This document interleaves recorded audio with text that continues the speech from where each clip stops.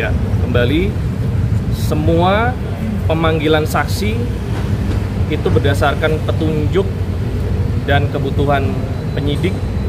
Apabila penyidik merasa perlu mendalami baik perkaranya itu sendiri maupun keberadaan tersangka HM maka penyidik akan memanggil saksi-saksi dan menyita baik itu dokumen maupun barang bukti elektronik yang dibutuhkan.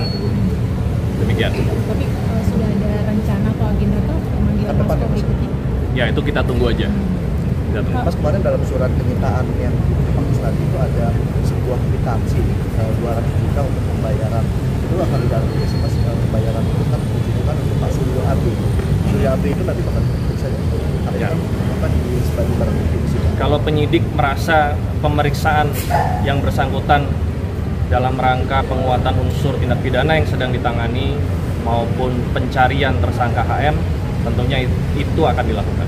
Mas mempertegas saja. Ya.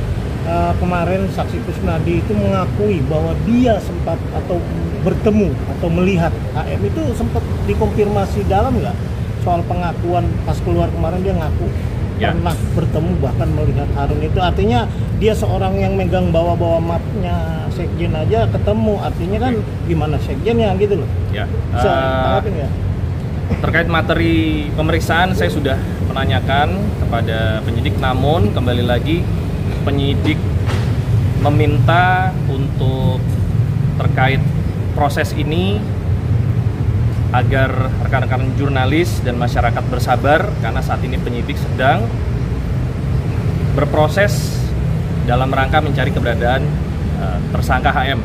Jadi kita tidak bisa expose, tidak bisa publish saat ini. Kita harapkan semoga dalam waktu dekat itu bisa segera ditemukan dan apa pun pertanyaannya tentu kita akan bisa jawab karena hari ini masih berproses demikian. Mas hari ini sore ini eh, beredar rumor ada beberapa wartawan sudah menunggu sejak siang di Bandara Suta soal kedatangan HM itu bisa ditanggapi mas? Apakah benar ada indikasi penyidik keluar eh, kota maupun luar negeri lagi sehingga banyak wartawan di Suta menunggu? Ya, Eh, kami belum bisa mempublish itu. Kita harapkan dalam waktu dekat informasi atau rumor itu bisa segera terwujud ya. Saya pikir seperti itu. Mas kemarin ke tim kuasa hukumnya Kusnadi mengatakan bahwa ada dugaan pemalsuan surat satu dan satu lagi pemanggilan yang 10 Juni itu tidak sesuai prosedur itu gimana? Semua keberatan tentunya dapat diajukan melalui saluran-saluran yang ada. Saya pikir sudah ada beberapa laporan ke Dewas terkait hal tersebut, bahkan sampai ke Baris Krim ya kalau nggak salah ya. Nah, kami KPK meyakini penyidik-penyidik kami bekerja secara profesional, teruji, dan semua administratif eh, sudah dipenuhi walaupun memang dalam eh, penyampaian tanda terima yang dipermasalahkan itu ada administrasi yang salah satu saksi dalam hal ini adalah Bapak Kusnadi salah bawa administrasi koreksian. Walaupun sebenarnya dalam proses penyitaan tersebut baik BA Sita maupun tanda terimanya sudah ditandatangani secara lengkap. Yang benar. Namun yang terbawa oleh yang bersangkutan adalah yang masih bentuk koreksian.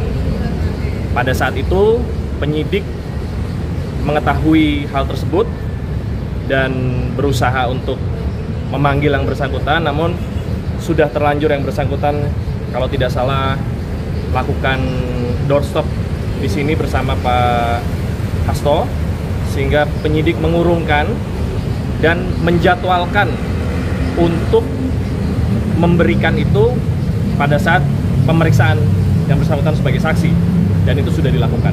Yang tanggal 10 Juni kemarin. Bukan eh, waktu beliau datang diperiksa sebagai saksi itu sudah diberikan dan beliau sudah menerima itu. Kalau yang statement yang tanggal 10 itu tidak sesuai dengan prosedur itu gimana? Ya. Yang dipanggil siapa? Kusnadi. tadi. Jadi mereka bikin hmm. statement bahwa surat hmm. pemanggilan terhadap Kusnadi itu tidak sesuai dengan prosedur. Hmm. Itu menurut tim pasal hukumnya. Nah, Oke. Okay. Seperti apa? Apakah surat itu betul tidak sesuai dengan prosedur? Sepanjang pengetahuan saya, tapi ini masih nanti saya akan konfirmasi kembali. Yang dipanggil tanggal 10 itu Pak Hasto ya? Kusnadi. Oh Pak Kusnadi. Oke, okay. yang tidak bisa hadir karena trauma itu. Iya, betul. Oke. Okay tidak sesuai prosedur. 19. tidak sesuai prosedurnya mungkin bisa dijelaskan apa? Ada nggak? ya semua orang semua orang bisa semua orang berhak untuk menyampaikan apa pun. Kalau memang itu tidak sesuai kembali lagi ada saluran-saluran untuk melakukan komplain. Tapi kami meyakini semua administrasi dilakukan sesuai dengan prosedur.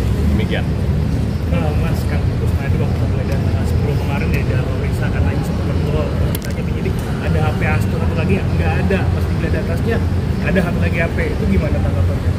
Juga ada unsur perintangan juga di sana kan dalam surat panggilan itu gimana mas tanggapannya mas? ya tanggapannya karena itu sudah masuk ke substansi saya pikir kita sambil menunggu ya. Intinya semua administrasi telah dilengkapi baik itu penyitaan maupun eh, penggeledahan sudah dilengkapi dan dapat dipertanggungjawabkan. Dan apabila ada hal-hal yang dianggap mungkin melakukan kekerasan, penekanan sebagaimana yang sudah disampaikan oleh eh, Direktur Penyidikan Bapak Asep CCTV siap dibuka bagi pihak-pihak yang berwenang untuk mengecek apakah hal tersebut terjadi atau tidak. Di laporan secara itu melihat ada kepanikan dari kubu? Ya. Saya tidak dalam posisi untuk bisa memberikan opini terkait hal tersebut. Ya Pak, cuma menegaskan aja Pak. Eh, oh, Ini terakhir ya, terakhir ya. Ya, ya sesuai prosedur itu maksudnya apakah eh, tanda terima tanda tangan dari Pak Kusnadi atau bagaimana?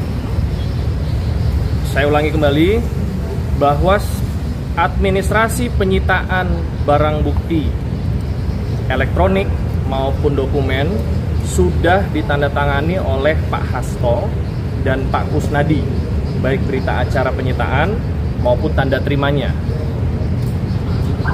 yang salah dibawa keluar oleh Pak Kusnadi itu adalah tanda terima yang bentuknya koreksian tapi yang benernya sudah ditandatangan jadi penyitaan itu sah secara hukum sah Salah bawa aja intinya. gitu. salah bawa diserahkan yang Jangan benar pada saat itu. pemeriksaan sebagai saksi